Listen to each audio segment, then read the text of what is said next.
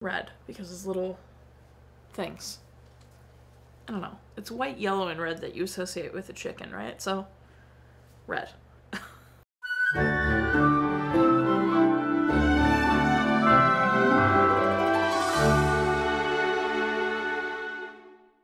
Welcome back to Every Disney Movie Ever. My name is Justin. I'm watching Every Disney Movie Ever. Today I'm going to talk about Chicken Little. Chicken Little is a 2005 animated theatrical release directed by Mark Dindal. Supervising animators include Mark Anthony Austin, Doug Bennett, Nik Ranieri, Jason Ryan, Tony Smeed, and Dick Zondag.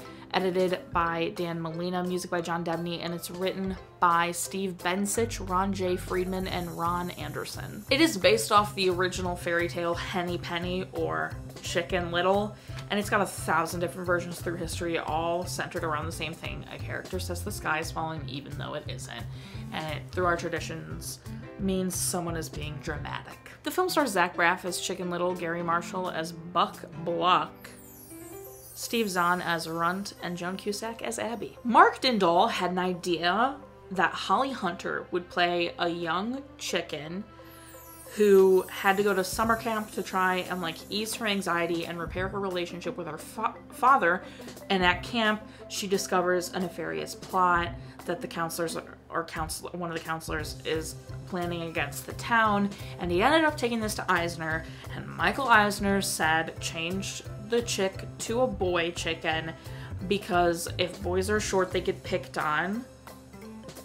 And at this time, the statistics say that girls will see a movie with a boy protagonist, but boys will not see a movie with a girl protagonist.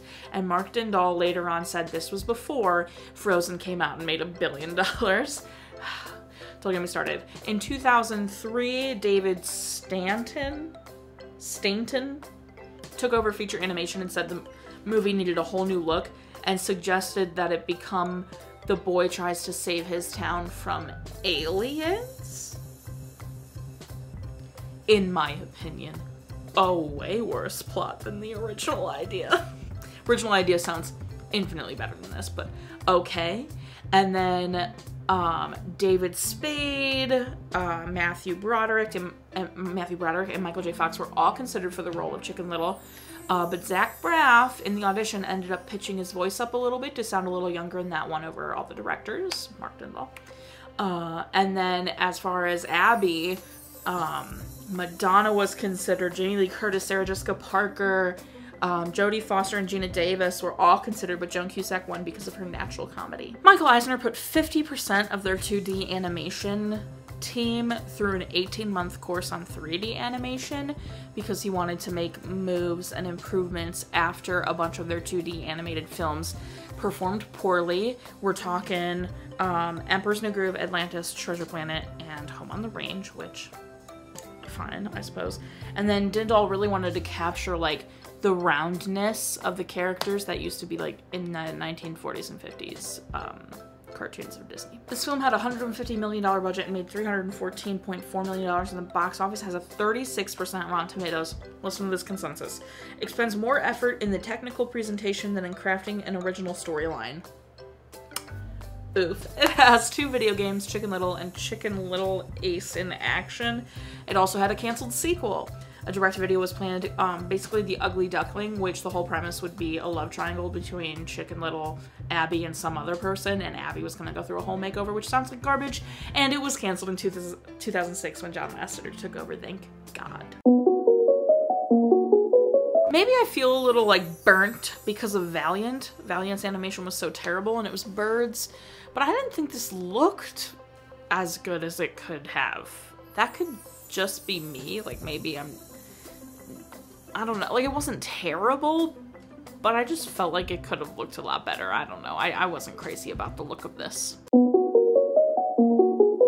I feel like in any other scenario, I would be saying this soundtrack slapped. It had absolute bangers on it, which is true. They had a lot of songs that are like really iconic. It's the end of the world as we know it. Um, he sang We Are the Champions. There were just like a lot of songs in this that are iconic and really famous, but I just think they weren't right for this movie, or at least felt too much of a grab. I don't know. It just didn't feel right. And I don't know if it's because they didn't establish it well enough to be able to use those kinds of songs in this, or I just don't know. Sometimes the song felt like it was supposed to be like a ha ha, we are joking, look at this famous song being in this movie about a chicken an aliens. Um, and it never hit the mark for me. Um, also, the Cheetah Girls singing a song in the credits I did not see coming. Um, but for me, while obviously the songs on their own are incredible, for this soundtrack, I think were the wrong choice. The different openings to set up this kind of like humor with like Once Upon a Time or the storybook or, you know, whatever else, that was funny. So I was like, oh, what path are we going? It gave me very like happily never after vibes or like in Emperor's New Groove when they stop the film and he does like the circling and stuff. That was kind of the vibe I almost was feeling and then they just didn't keep up the spirit of that in my opinion. They went from like this funny like, oh, how does every story start? No, let's do something different, blah blah blah. And then they went into like kind of a lot of like stupid humor, like him losing his pants and you know, I don't know, just a lot of physical, like, kind of dumb humor um, from that. Which, like, not saying that the opening is, like, intelligent humor or anything like that. I don't know, it just wasn't the same vibe. And I was excited because, you know, I've heard very mixed things. I've heard Chicken Little is terrible, I've heard Chicken Little is awful, but then I've heard people say, you know, it's not that bad. It's fine, it's entertaining, it's not the worst Disney movie. Whatever. There's also a parent death. They don't say. This is where we're getting into icky territory because we don't see it, and they technically didn't say she died. But the dad says, You always knew what to say. It would be so much better if you were here. And I feel like if she left them, he wouldn't be saying that. So I'm counting it. And they bring it up again later, and it's very much she died, so I'm counting it.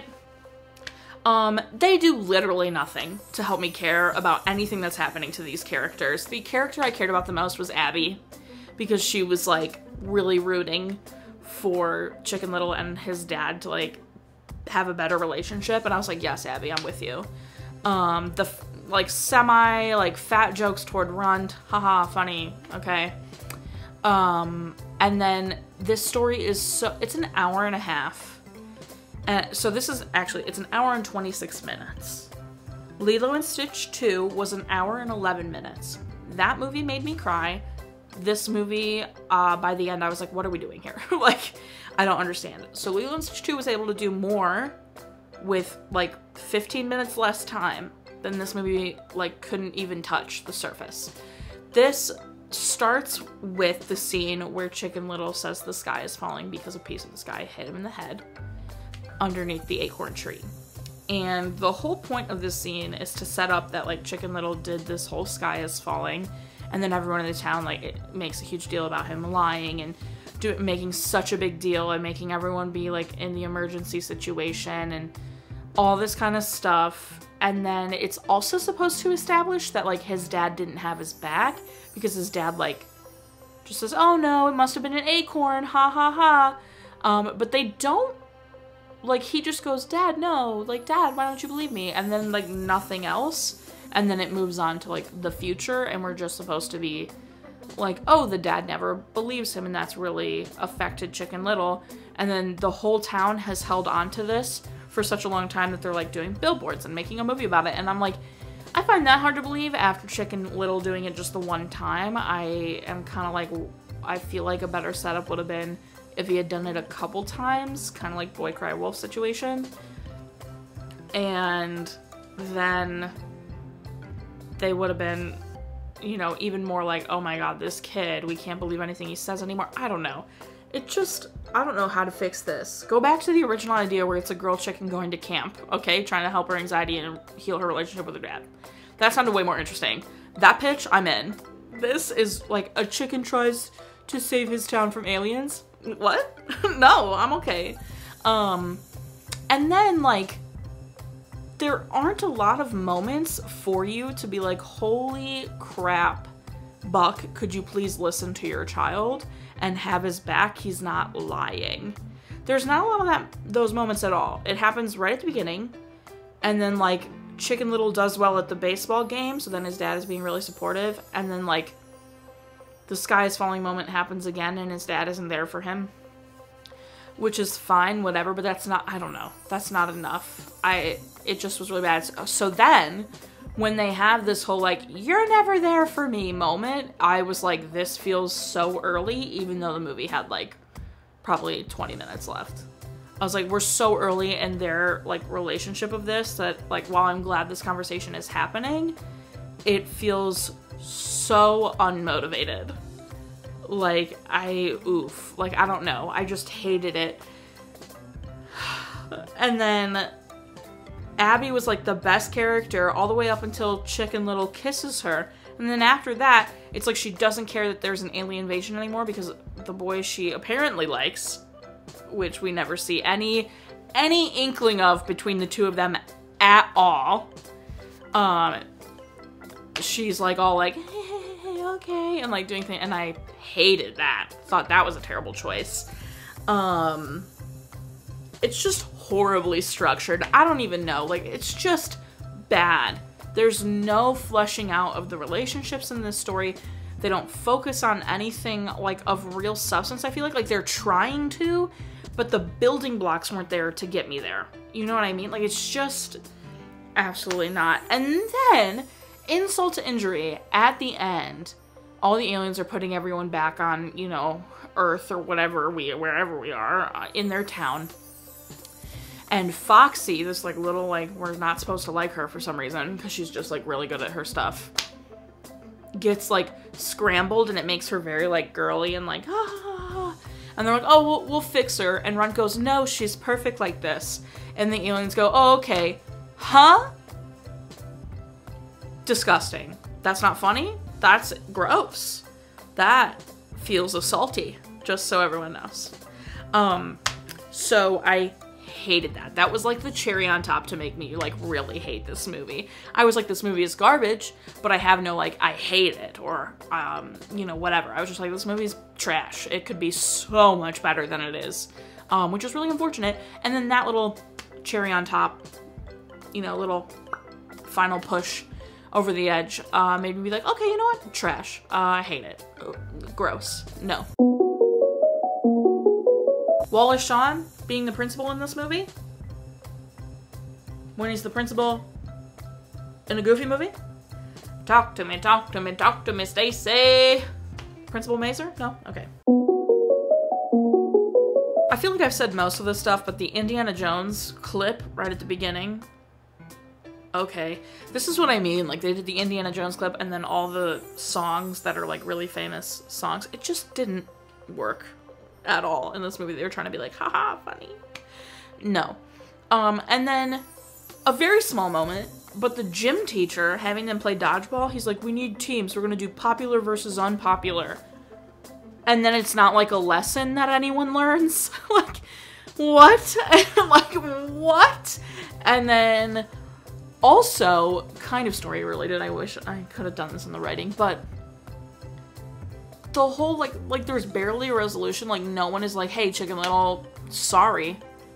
You were right. Oh my god. No it's just like chicken little saved us. Now he's a hero. Here's a movie about him that's incredibly inaccurate. Ugh. Terrible. I hate it. Um yeah. I don't like this. This is really bad you guys. Uh i really wanted this to be like at least middle of the road decent and not as bad as some people said, but this is pretty trash. That's everything I have for Chicken Little. My final rating is four chickens out of 10. Our total movie count is... Our parent death toll is...